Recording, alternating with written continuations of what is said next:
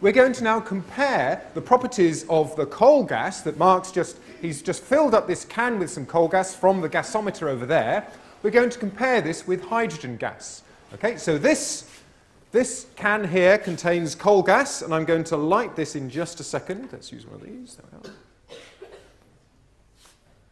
Okay. So, are you ready? Ready to light it? Ah, aha. So that's coal gas. Okay. So this is the mixture of the different gases. We've actually taken out the poisonous ones. We've taken out the carbon monoxide and some of the smelly ones, some of the sulfur in there. So this is mainly just hydrogen and methane in here, burning nicely. And we're going to compare that now to hydrogen, which is the most common gas in the coal gas. So Mark is just filling up another can with some hydrogen. Okay, so this tin can, exactly the same. This has got hydrogen gas in.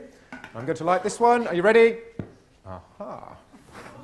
There we are. So we have two cans burning now. Now, first of all, note the differences between these. This one here is more yellow.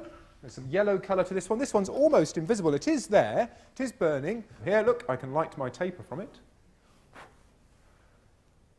Well, but that flame is almost invisible. It's very, very blue.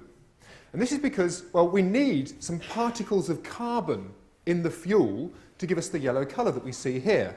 So the methane that's present in this mixture here doesn't quite burn properly. We form some little particles of carbon. They're being heated up from the energy of this, and that gives it the yellow colour. There's no carbon in the fuel here. It's just burning with a little blue flame. But there's also a hole in the bottom that's allowing the air to go into this can. And when we get just the right mix, it explodes.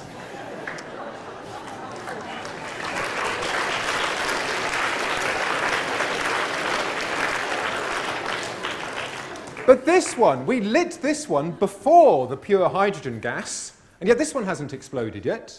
And this is because the gas in here, the other gases, well, it makes it slightly heavier. The methane is much heavier than hydrogen gas. Hydrogen is the lightest element in the universe. But here it is, the other uh, in here, much heavier, and this is coming out more slowly. Um, so not only do we get the nice yellow colour, but it's also burning a little bit uh, slower than the hydrogen there. That one will go pop at some point, and it will probably scare the life out of me, but we'll just have to wait for that one because I don't know when that's going to happen. Okay. Now, what about the, um, the, the, gases here then?